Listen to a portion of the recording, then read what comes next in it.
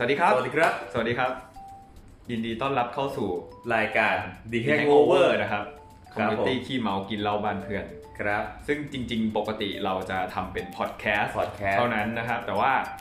อ่าผมกับกี้เนี่ยคิดมานานแล้วว่าเฮ้ยอยากจะลองทำพวกรีวิวรีวิวเบียร์มารีวิบ้างวด้วยควมร้านด้วยความที่เราแบบเป็นคนชอบไปชิมเบียร์แปลกๆอะไรอย่างเงี้ยอ่าเออก็เลยเห็นว่าเออเฮ้ยเราอยากลองทำดูบ้างถ้าเกิดว่า ทำแค่เฉพาะพอดแคสต์อะมันก็ได้ยินแต่เสียงไงอ่ามั มันก็จะไม่ค่อยได้เห็นไม่เห็นภาพ ภาพไม่ได้เห็นจังหวะตอนที่แบบว่ามันเวลาเรากินไปมันเป็นรสชาติยังไงอ่า อะไรอะไรอย่างนี้ เราที่เราตัวแรกดีกว่า วันนี้เรามีอะไรมารีตอนวิวนี้บ้างวันนี้เรามีหลายตัวมากครับ เป็นเบียร์ที่หลาย ๆ ตัวผมก็ยังไม่เคยกิน อ่าแต่ว่าจริงๆมันก็หาซื้อได้ตามท้องตลาดหลายตัว ใช่ใช่อาจจะตามพวกซูเปอร์มาร์เก็ตทั่วไปอ่า อะไรอย่างนี้ แต่ว่าถ้าพวกร้านสะดวกซื้อน่าจะยากหน่อย นะครับอ่าตัวแรกครับอ่าผมตัวแรกนะฮะตัวแรก ตัวแรกตัวนี้ชื่อว่า h i เบียร์นะครับนี่นี่ให้ดู h i เบียร์ก่อนไอเบียร์ไอเบียร์นะครับเขาบอกว่าเป็น pale pale lager นะครับ pale lager อ่า pale lager เอปกติแอลกอฮอล์ 4.3%เราจะเรียกว่า AVB เนาะบางทีแต่ก็เรียกว่าแอลกอฮอล์ก็ได้อยู่ที่ 4.3%นะครับ ตัวนี้เป็นแบบว่า เป็น pale lager ทั่วไป แต่ว่ายังไม่เคยกินเหมือนกันนะฮะลองมาชิมแต่ว่าสิ่งที่พิเศษก็คือมันจะมีเขียนที่เขียนว่า ice point อะครับ คือจริงๆ จะบอกก่อนว่าไอตัวไฮเบียร์ไฮเนี่ยมันเกิดที่อ่าเกาหลีอ่าเป็นเบียร์ของประเทศเกาหลีนะครับ ซึ่งตัวมาดีเหมือนกันใช่ใช่ใช่ต้องมีการหาความรู้ก่อนนะครับคำไอคำว่า ice point ของเขาอะเขาอะเขาบอกว่ามันเป็นเทคโนโลยีการบรรจุบรรจุลงกระป๋องของเขา เขาบอกว่า เขาใช้วิธีการที่ทำให้อุณหภูมิเบียร์มันต่ำกว่าศูนย์องศา ก่อนที่จะบรรจุเข้าไปมเขาบอกว่าวิธีการนี้เนี่ยเป็นการที่จะเก็บรสชาติของเบียร์ได้ดีที่สุด แล้วก็สามารถเก็บให้มันมีอายุแบบยาวนานได้อ่าเดี๋ยวลองดูว่ามีอะไรที่มันแตกต่างอะฟังเสียงไหนขอดมขอดมอืมอืจมริงๆกลิ่นลักษณะกลิ่นกลิ่นดีตอนแรกก็เหมือนเหมือนลาเกอร์นะ แต่ว่าก็จะมีความอ่า โอ้มีกลิ่นที่แรงกว่าลาเกอร์ทั่วๆไปเกือบไม่ได้แดกแล้วไงโอ้อ่าปกติถ้าเกิดว่ากินกันเองคงไม่เทอย่างนี้นะฮะใช่ปกติเทเราบับบับเราบับจะซัดไปเลยนะฮะแต่ว่าคราวนี้บังเอิญว่าเป็นรีวิวอ่าผมขอ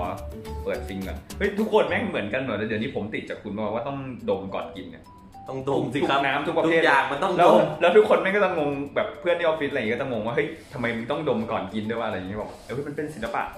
อืม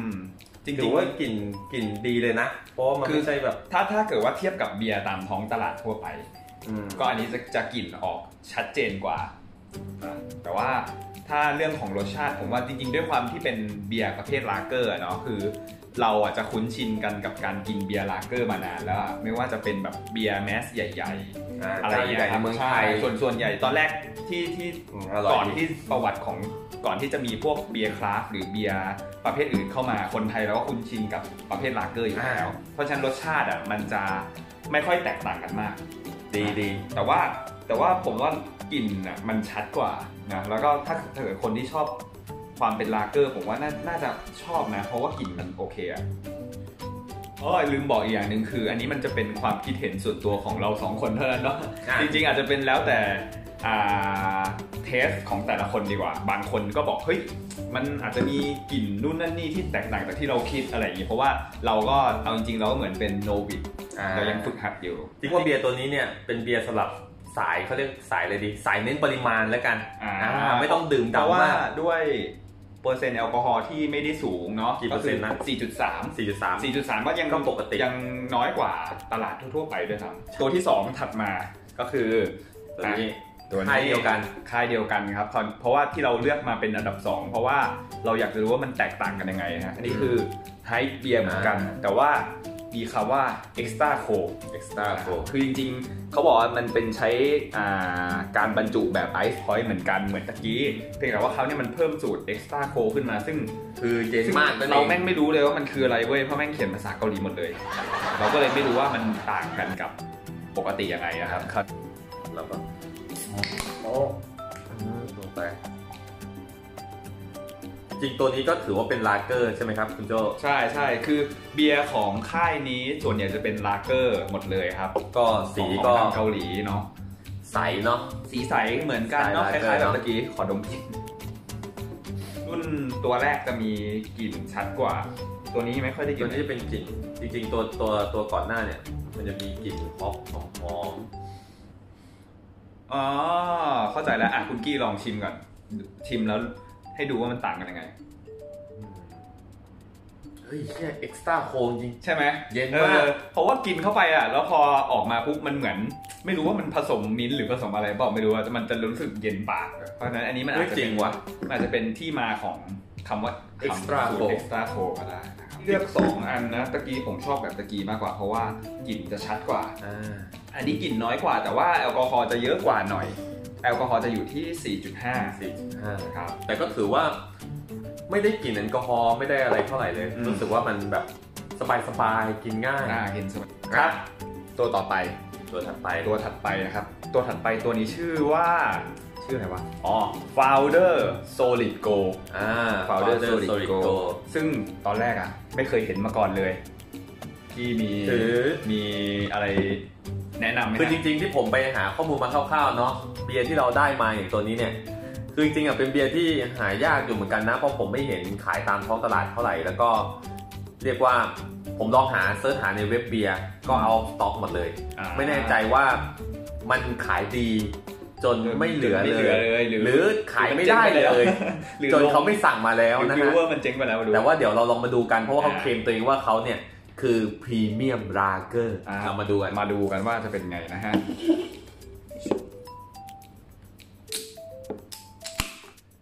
เฮ้ย โอ้โห ฟองติดจมูก เฮ้ย นี่ถือว่าฟองพุ่งนะ มึงเขย่ามาก่อนหรือเปล่า ไม่ใช่ไม่ใช่เฮ้ยเฮ้ย อันนี้กลิ่นดีกลิ่นดี อันนี้กลิ่นดีกว่าสองตัวตะกี้ไม่ได้ละต้องลองต้องลอง เฮ้ยโอ้โห มีเขาคบอวามกว่าแตตัวกนี้ต่างเนี่ยเป็นของอเมริกาอ่าเป็นของเนี้ยเฮ้ยแต่สีแตกต่างกันนิดนึงนะครับ คือลาเกอร์สองตัวตะกี้เนี่ยมันจะมันจะดูเหลืองเข้มกว่านี้นะ แต่ว่าอันนี้มันจะดูตอนแรกๆออกมาเหมือนเหมือนเหลืองเหลืองทองทองๆอะไรอย่างนี้ แต่ว่ากลิ่นเนี่ยโอเคนะ มันจะมีความขุ่นอ่าความขุ่นเพิ่มมาจริงๆ เข้าใกล้คล้ายๆพวกเฮ้ยมันเอวเหมือนเลยนะใกล้ๆเออใกล้ๆพวกเอวแล้วอะอะแต่จริง ๆ อันนี้ก็ 4จุดถือว่ากินดีกินดี แอลกอฮอล์4.4%ครับกลิ่นนี่มาสไตล์แบบพวกเอลเพลหรือ IPA เลยอืมสำหรับตัวนี้ผมว่าโอเคเลยนะ คือถ้าถามเรื่องความชอบ ผมว่ากลิ่นสำหรับผมอะผมชอบกลิ่นตัวนี้มากกว่า 2 ตัวที่แล้ว ผมรู้สึกว่า ผมรู้สึกว่าจริง ๆ ผมเป็นคนชอบกลิ่นของพวกประเภท IPA อะกลิ่นใช่สไตล์อย่างนั้นกลิ่นมันหอมมากฮอปใช่ฮอปฮอปแบบแนวลิ้นจี่ลิ้นจี่อะไรเงี้ยตัดเกรดตัดเกรดกระป๋องที่ตัดเกรดเลยดีกว่าคุณโจ้ให้เท่าไหร่ อันนี้เหรอสำหรับผมเต็มผมสิบให้เต็มสิบมีมีจุดทศนิยมให้ด้วยหนึ่งจุดเฮ้ยเราเอาแบบนี้ดีกว่าตัดเกรดให้เหมือนเว็บ RateBeer ดีกว่า คือ RateBeer เขาจะเต็ม5ไงอ่าอาจจะต้องบอกบอกก่อนสำหรับคนที่ไม่รู้จักก็คือ RateBeer คือเป็นเว็บที่เขาใช้วัดคะแนนของเบียร์ทั่วโลกเลยซึ่งอ่าจริงๆถามว่าน่าจะเป็นเว็บที่ค่อนข้างจะเป็นคนรู้จักกันเยอะสุดแล้วในคนกินเบียร์เนาะเพราะว่าเขาเปิดมาแบบ17 ปีอะไรอย่างเงี้ยเขาก็จะมีการรีวิวเบียร์กันเกือบทุกชนิดบนโลกเลยต้องเรียกว่าเป็น rate จากคนคนที่กินจริงๆคนที่กินจริงๆที่เป็นอ่าโอเคอ่าถ้าแบบผมถ้าเต็ม 5 นะ ตอนนี้ผมให้ประมาณ 3.5อืม ผมให้สามแล้วกันอ่าตัวนี้ ข้อดีข้อดีที่ชอบคือมันดูเป็นประสบการณ์ใหม่ของผมอ่าที่ไม่เคยเจอว่ามันเป็นเบียร์ที่แบบไม่เชิงลาเกอร์ แต่ก็ไม่ถึงกับ ale อะไรอย่างนี้ ซึ่งไม่เคยเจอแบบนี้แล้วเพราะผมรู้สึกว่ามันดีนะมันดีมันดี แต่ว่าก็ยังไม่ได้เขาเรียกว่าไม่ถูกจริตผมเท่าไหร่ก็ถือว่าเป็นแบบ มันเป็นกึ่งกลางเพราะมันเป็นกึ่งกลางผมรู้สึกว่ามันไม่ได้ไม่สุดไม่สุด มันไม่ไปคือข้อเสียมันเลยกลายเป็นว่ามันมันเลยแบบ ไม่ไปทางนู้นทางนี้ที่ทางอ่าเดียวอะไรใช่ใช่ใช่สำหรับวันนี้จบไปแล้วนะครับ กับตอนแรก ตอนแรกเบียร์สามตัวนี้ที่เราที่เรานำมาชิมมานี่เป็นตอนแรกของพวกเราในเรียกว่าการรีวิวเบียร์นะฮะ เราก็คือไม่เคยกินเป็นสามืมอใหม่ตัวมาก่อน เราเป็นมือใหม่กัน เพราะว่าแตกออกมาจากตอนพอดแคสต์นะปกติตอนพอดแคสต์เออจริงๆอะแนะนำสำหรับคนที่ยังไม่เคยดูพอดแคสต์เราด้วยอะไม่เคยฟังอ่าก็คือพอดแคสต์เป็นสไตล์แบบความรักในวงเล่าความแบรับกคอมมูนิตี้การเมาส์กันว่าเวลากินเหล้าเป็นไงเล่อยเปื่อยเล่อยอันเปื่นี้อยก็แยกออกมาลองทำเป็นตอนพิเศษเล่นๆกันโดยเฉพาะว่าเราสองคนเนี่ยชอบกินเบียร์เป็นพิเศษครับ คราวนี้ก็สามารถติดตามได้นะครับ ก็เดี๋ยว channel ที่ออกมาจะไปลงใน Facebook ของอ่า The Hangover ก่อนอ่านะครับแล้วก็ไปติดตามจาก channel ตรงนั้น เดี๋ยวจะมีอัปเดตตรงนั้นเนาะแล้วก็ใช่ครับก็ถ้าคนอยากจะคอมเมนต์คุยกันพูดคุยอะไรก็อ่าคุยผ่าน Facebook แฟนหรืออยากจะไลน์หรือว่าอยากจะหรือคอมสับเมนสต์ไครต์กันเข้าก็มาได้นะด่า subscribe กันครับผมด่าก็ได้มึงรีวิวเฮียอะไรเนี่ยตรงด่าข้ามกับกูทุกอย่างเลยอะไรอย่างงี้ด่าแบบเบาๆก็ก็ได้นะถืคอรับว่าได้นิดๆก็เจ็บแล้วได้คราวนี้ เพราะด่ายังไงกูยังรีวิวของกูอย่างนี้แหละ ก็จะมีจะมีทำออกมาเรื่อยๆ ตอนที่พวกเราว่างอ่าโอเคโอเคแล้วสรุป 3 ตัวเนี้ยคุณชอบตัวไหนที่สุด ผมหมอผมให้ตัวนี้ตัวแรกถ้าผมอ่าชอบตัวนี้มากสุด โอเคอ่าด้วยความแปลกนะครับนั้นสำหรับผมนะอ่าผมให้ตัวนี้อ่าอ่าด้วยเอ็คกวามซ์ตร้าโก Extra Gold เพราะว่าสำหรับอากาศเมืองไทยแล้วเนี่ยอ่ายุยุคหน้าร้อนอย่างนี้ ดื่มไปสดชื่น อ่า ก็คนไหนที่ไปชิมแล้วแบบ ไปชิมตามที่ไปชิมถามตัวนี้ตามที่เห็นจากพวกเราอะไรเงี้ยก็ลองมาแชร์เข้ามากัน เออมาแชร์กันได้ว่าอ่าเออมันดีไม่ดีอะไรอย่างนี้นะครับ ได้ครับผมได้ครับก็โอเค เจอกันใหม่คลิปถัดไปครับวู้ฮู้บายบาย